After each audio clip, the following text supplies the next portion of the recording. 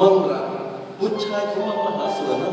แม่ทัพใหญ่ศึกครั้งนี้เข้ามาขัดขวางและทำให้ดวงจันทร์ต้องตะลึงเพราะมังราเป็นคนเดียวกับชายคนที่บอกว่าชื่อทัพ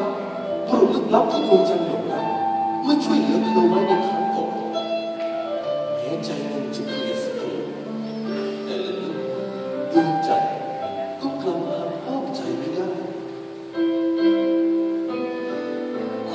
หางที่เราทั้งสองฝ่ายมีต่อกันมาอย่างยาวนานยากที่จะสานได้ หากเหตุใดหัวใจของข้าต้องมาพ่านพบกับศัตรูผู้เป็นมิตร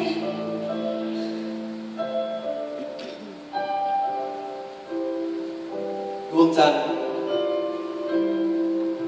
จงมองข้าคน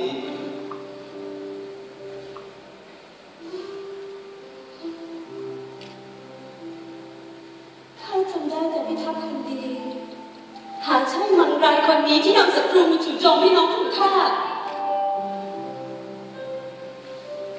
ไม่มีศัตรู